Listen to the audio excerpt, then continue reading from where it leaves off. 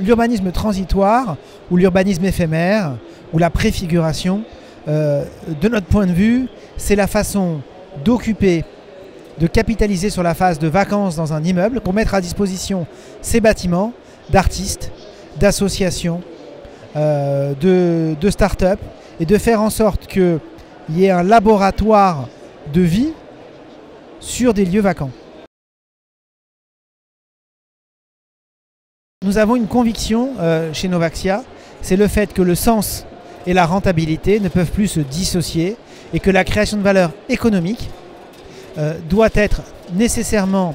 complétée d'une création de valeur sociétale. Quand on tire à profit des phases de vacances pour installer, par exemple, comme on l'a fait dans le 5e arrondissement de Paris, un immeuble de bureaux vide, plutôt que de les faire gardienner et avoir un coût de près de 20 000 euros par mois pour les gardienner, pourquoi ne pas joindre l'utile à l'agréable, le sens et la rentabilité en le mettant à disposition? C'est ce que nous avons fait avec Plateau Urbain, avec l'association Aurore et avec euh, un collectif d'artistes et une troupe de théâtre. Nous leur avons littéralement prêté ces 5000 m2 au cœur de Paris pendant près de 24 mois. Et nous avons observé que la vie avait poussé pendant ces 24 mois de manière extrêmement surprenante. Je vous prends un exemple très précis de la dimension culturelle de ce, de ce projet d'urbanisme transitoire. On a eu pendant trois mois un théâtre d'un nouveau genre, un théâtre immersif,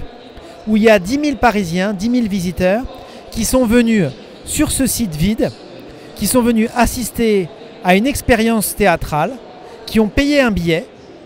Et ça a été un raz-de-marée, puisque rendez-vous compte quand même, 10 000 visiteurs sur trois mois, c'est pas rien. De cette idée, de cette démarche de mettre à disposition des lieux vacants, est née l'envie de le systématiser. Et on va le systématiser au point de créer un outil, un fonds de dotation, qui est un outil philanthropique, qui va non seulement aider en nature les gens qui en ont besoin, à travers la mise à disposition de lieux vacants, mais également de les aider financièrement en leur donnant une bourse, une subvention,